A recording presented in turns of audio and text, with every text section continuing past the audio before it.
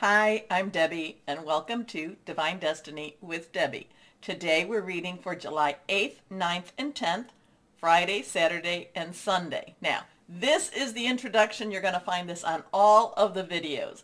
But if you want to bypass, or if you like to cross-watch, you know, your, your rising, ascending moon, Jupiter, Venus, Mercury, then I should put, I have probably put a timestamp on the, you know, in the description so you can bypass and go right to the main reading. I hope you watch the um, introduction at least one time. Now, um, again, this is Monday, this is Friday through Saturday. Um, I will be using my Radleigh Valentine deck. I will, for the main reading, this is my Angel Tarot cards. I will also use my John Holland Psychic Tarot and Oracle cards. I will pick one from my Emily Anderson Crystal deck. Now, for the reading that we're doing now, the overview of the readings, I will be using my Waite Rider, Rider Waite, um, traditional tarot, and I will be pulling one from my, yes, still have to look for her, Colette Baron Reid, The Good Tarot. Now, I have prayed, meditated, and infused all the decks with Reiki energy, but remember, this is a general reading. It may or may not resonate.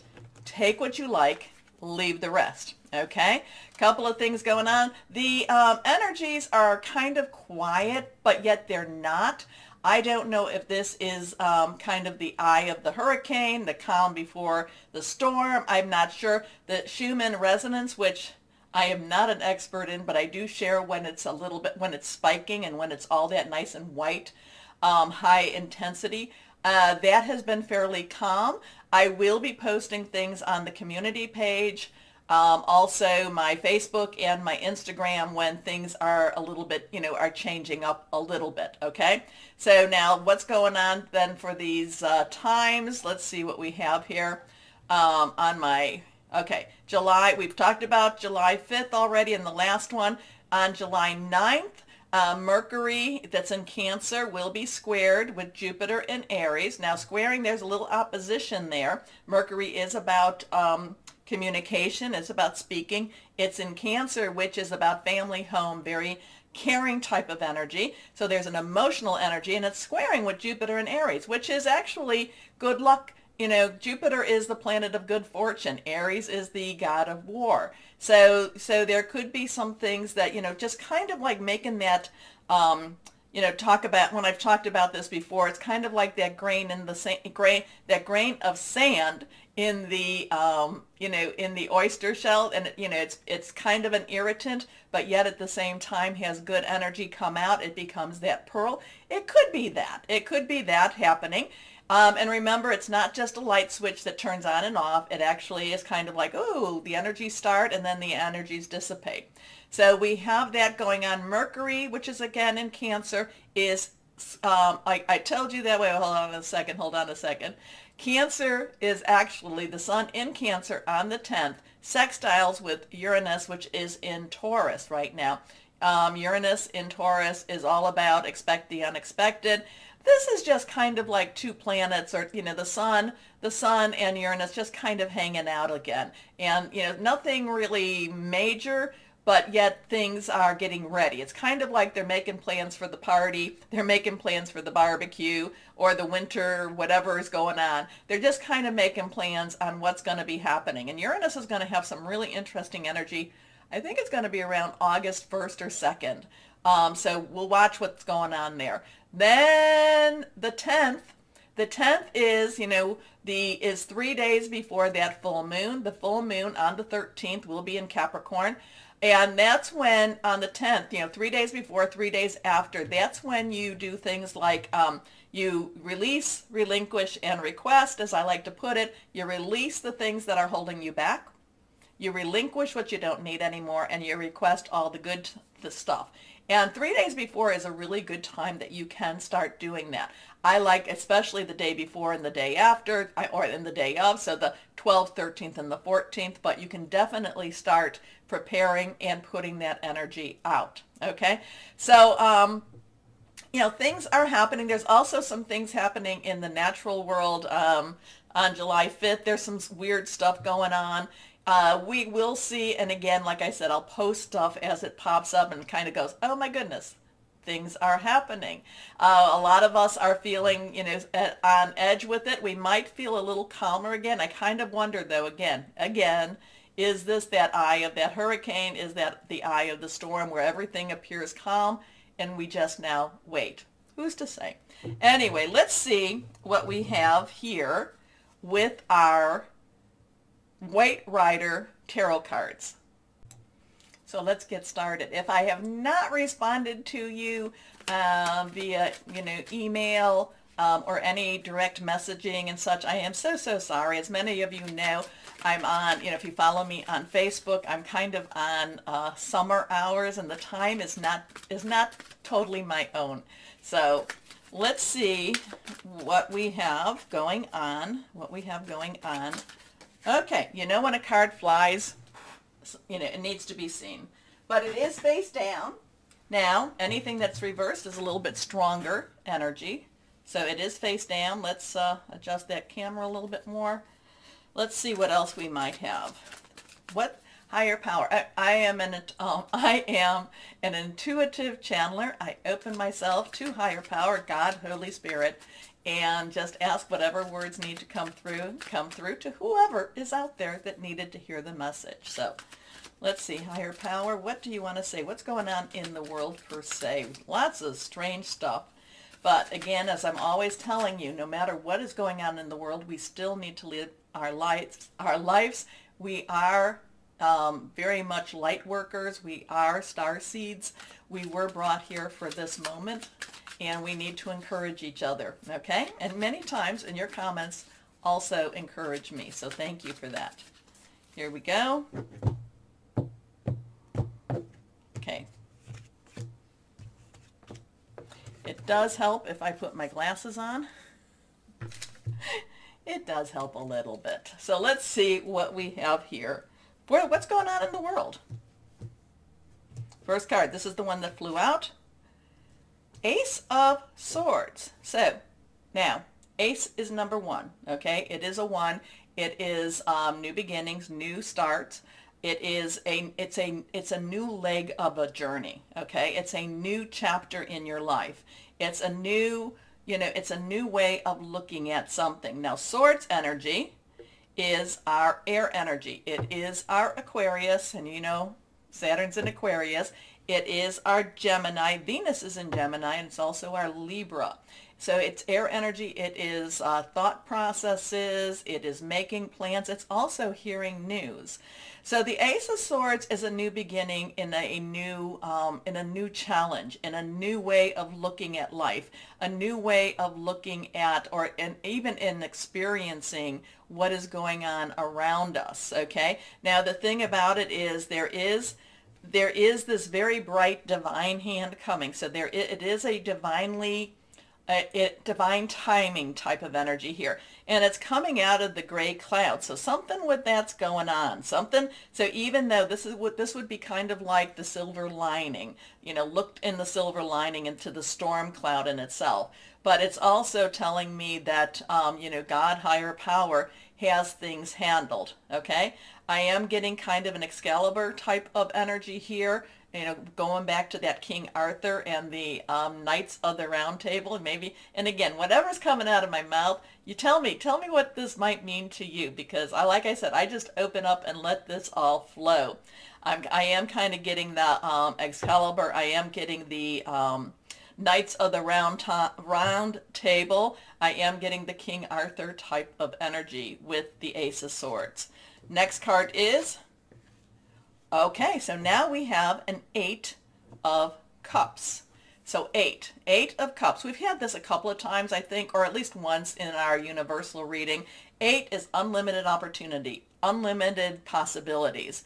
The eight of cups is, you know, cups is again Pisces, Scorpio, and it is also Cancer. We are in Cancer season right now. It has that emotional um, energy to it. It has that family, that home, that really what you care for type of energy here. So Cups is very fluid, very, um, you know, very spiritual too. But this is, you know, the interesting thing about this is the Cups are nicely stacked. They're nicely stacked, and I'm kind of getting a, um, I don't know if we're having a five of cup energy here and a three of cup energy here. Um, but the thing about this is, and Five of Cups is really look again looking for that silver lining and look and that all things happen for a reason. And the Three of Cups is the um, celebration. All of a sudden, I'm looking at it and seeing how these are, you know, these are stacked on each other a little bit differently. But the thing about this is this is a turning away. This is a walking away, walking away from what you once knew, walking away from um, what is, uh, you know, the standard. Now, we do have the, um, you know, this, this crescent moon, and I do think that that would then be, oops, ooh, that flew, came upside down. Um, I do think, I could be wrong with this one, um, I think, well, okay, I'm not going to go if that's the waning or the waxing, but usually at the waxing moon to the full moon is as it's, um, you know, as it's time for requesting and such like that. So we did have our new moon just recently in Cancer. We are coming to that full moon in Capricorn. And, you know, Capricorn, again, what did I say? That was on the 13th. So things are changing. Things are, you know, um, happening. So maybe, maybe by the 13th, but again, this is a walking away, walking away from an emotional situation. And it's very, um, you know, it's very, the, the path may not necessarily be easy, but um, it's, it's really a very strong um, major change, major change. And it's, you, you know, letting things go, letting things go. Next card is now, uh, so we have that Five of Cups again. Remember I told you that we have that Five of Cup energy here? So five has some change energy. It has, you know, it has, um, you know, positive, it's negative energy. It's just change. Change happens. Change can be very stressful. Change, uh, the Five of Cups, again, the cup energy, it is about, um, you know, the fluidity. It is about the emotional um, energy. And here the person again. So here we have that three again, too, and the three and the two. So here we have the three cups. They've spilt. They've lost. They've lost whatever they contained. And the person is mourning that. The, this is kind of like mourning the past and yet not necessarily seeing the good in that future. Okay? So some there's a, there's some emotional changes happening with this energy here. And again, there is this walking away. I still get that um, Arthur, Arthurian, Arthurian, King Arthur type of vibe with that Ace of Swords. Don't always get that. In fact, I don't think I ever got that before. But I am getting that there is, you know, some there is a new path, a new direction, hearing things. But we leave something behind, or the universe is changing, leaving something behind, and it may not necessarily feel positive to everyone, but again, this is that looking for that silver lining and um, just moving on, moving on, or getting ready to move on because this person's not, this person now needs to mourn a little bit. This person is definitely saying, okay, I'm gonna, I'm looking for something more. I'm looking for something better. Okay. And again, the moon, something with the moon here. Okay, let's see what, yes, I still, oh, Colette, I'm so sorry, Colette Baron Reid. Let's see what we have here with the good tarot. Now, so we've had the water sign and we've had the air sign, and now we have the air sign again. That one flipped over. So this is challenges. This has some challenge to it. Now, this is the page of air. Page, um, now, all of the court cards have um, dual energies. Page's underlying energy is our earth energy. It's our tangible energy. It's our Capricorn, so we're coming into that Capricorn full moon. I think there's something with that. Taurus, you know, Uranus is in Taurus. There's still a lot of Taurus stuff going on with that. Um, it's also our Virgo energy. So it's our money, our job, our career, very tangible energy, very much our house energy, our home energy. Air energy again, um, Gemini, Libra, and Aquarius. So hearing news, um, hearing news, starting on a new plan. This could have something to do with your job, your security, but it's also hearing news, um, again, that new plan. And the page, though, the page says, okay, I feel like the page is kind of like, um, you know, rolling up his, her sleeves and saying, let's jump in, let's get things done, let's do this. Pages are very um, enthusiastic. Pages just, you know, they don't, they don't know, they don't see the obstacles. They just know things have to be done, things have to change. Pages are also messengers of the king's court, king or queen's court. They would be the messengers. They would bring the message um, to wherever it needed to go.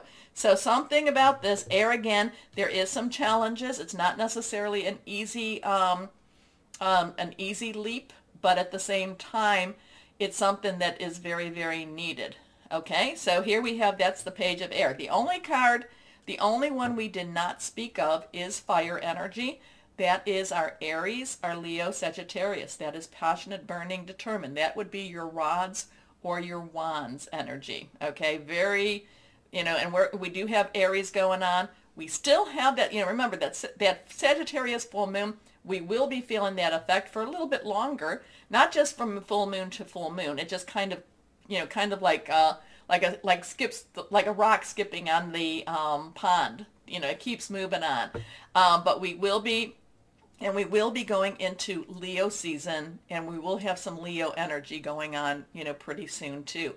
We are feeling more and more of that Leo energy. So something, something challenging, something challenging, walk away, uh, feel your emotions, but know that, um, you know, even though it may feel very hard and may feel very harsh, something, you know, it is time to walk away because there is this new I don't know. I, I feel, again, I get this new, um, you know, the Excalibur energy. I get the King Arthur energy. I get the Knights of the Round Table energy. And the page of air says, hey, we might not necessarily understand it or agree with it, but, you know, the page is like, let's go do it. Let's get started. Okay, so anyway, anyway, you know, this is the moment, we're about to start your readings, but this is the moment where I ask you to please, please, please like, share, subscribe, click on the bell. Get, you know, share it with everybody if you would please. Um, you know, I, it really helps and I really thank you all. We got to 25,500 subscribers. Thank you. Now, I, I would love it if you all watched, but I do thank you for subscribing. I really, really do. Anyway, um, I've done that part, so why don't we start our readings? And hello to my Sagittariuses. How are you, my sweet ones? Oh, yes, I always feel such energies coming from you, you know. No matter what things look like, there's always, you know, you see rainbows. Sometimes, I mean, sometimes you got to see the storm clouds, and I know that. I know you're not always, but, you know, you're all, you're not always um, bright and shiny, but I do know that you always try. So I love that about my Sages. So let's see. Let's see what rainbows are there for you. Here we go. Let's see. Higher power. What do you have for my Sagittariuses? My lovely, lovely ones. Okay. One, two, three.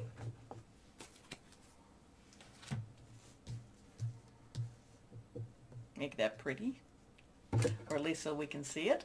Here we go. Reversed. Strong stuff. First card. Page of Water. Romance in the air. Is there something new happening for you that just feels lovely, that just feels hopeful, that just feels like I, you know, it, it's almost it's almost like uh, being in a Hallmark movie, almost like you know reading one of those romance books. It just feels very dreamy, loving, very um, you know, just very hopeful, very like anything is possible. So pages, pages underlying energy is Earth money, job, career, Capricorn, Virgo, Taurus energy. So there is this grounded. You're not, it's not that you're just flowing along. You're not, you know, there is a grounding. There is a tether. There is a tether for you to hold on to. And you really should hold on to the tether. But the water energy, the Cancer, the Pisces, the Scorpio, it wants to sweep you up. It wants to bring you to just wherever it wants to flow you to. So I do, I do ask you to hold on to the tether a little bit because um, otherwise it you know you, you could just be swept up and you need you need to stay a little bit on that grounded energy now pages love they just love to just jump in could be about messages also because messages pages do bring messages so there could be some messages coming about something that just makes you feel just totally like like I said, anything is possible. The rainbows are there, the sun, all of these really wonderful type of energies. Tether yourself a little bit. Stay grounded, but then let's see where this flows. Okay? So pages, page of water is intuitive, sensitive, artistic, and friendly. A new person enters your life. A relationship begins a new phase. Heightened psychic abilities. So what you know, you know. You know what you know. Trust your gut.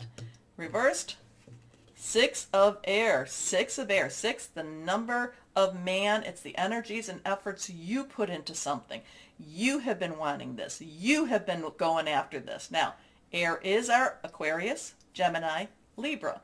Aquarius and Gemini. Venus is in Gemini right now. So if this is a love interest, if this is a, but it's a, just a strong romantic or a strong wanting type of energy. The six of air is leaving something behind that was not good for you. Was leaving something behind, moving from something that has just been holding you back, holding you down, keeping you from being who you are supposed to be. Remember, you're a fire sign.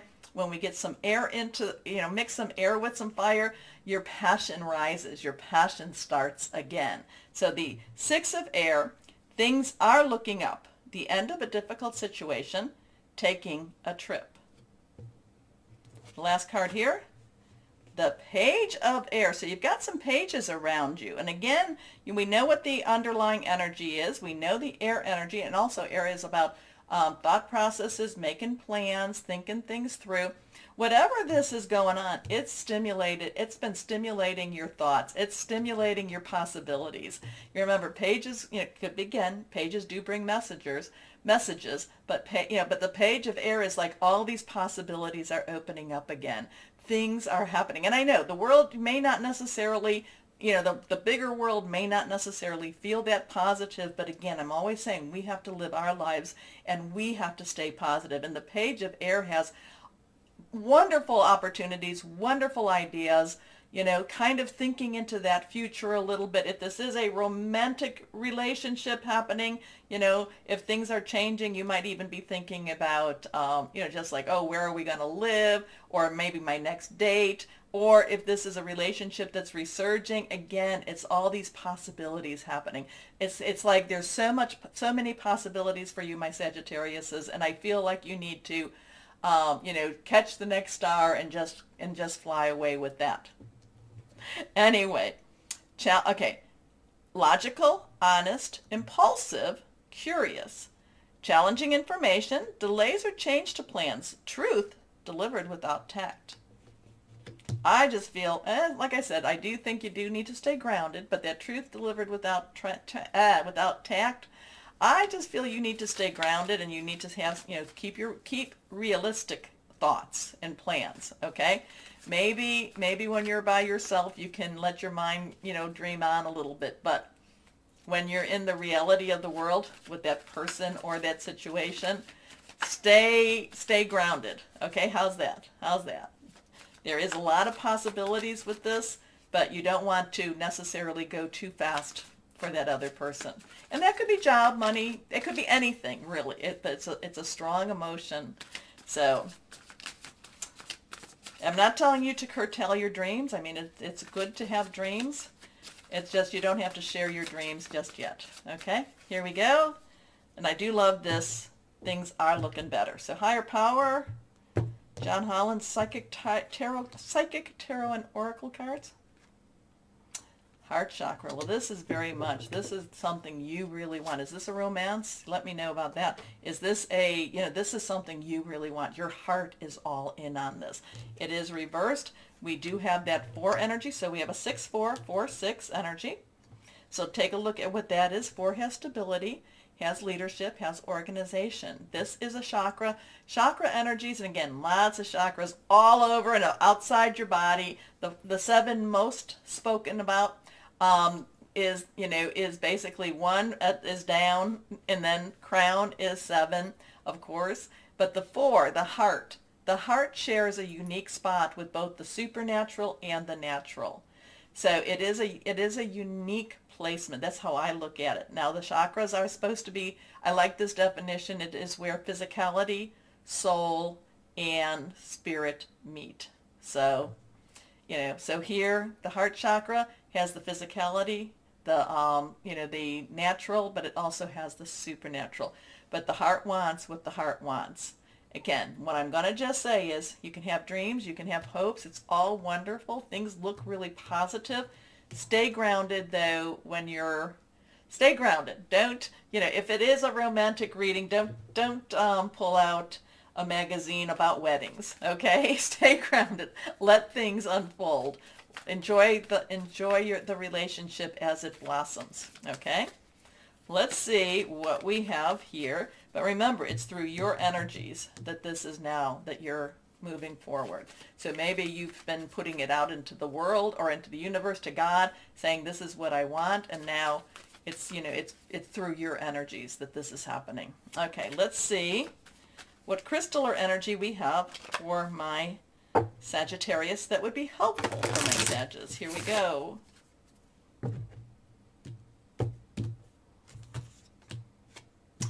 Aqua, marine. Water healing, compassion, speaking your truth, compromise. My Sages, this is such a lovely reading and just it just it's just like I said, rainbows, it just has hope, it has so many good feels to it. So let me know though what this means to you, how this resonates for you, okay? Anyway, my Sages, take a moment, please. Yes, do the like, share, subscribe, click on the bell for notifications, do all of that. Most importantly, yes, most importantly, my Sagittariuses, know that you are loved, stay shining, and be blessed. Bye-bye.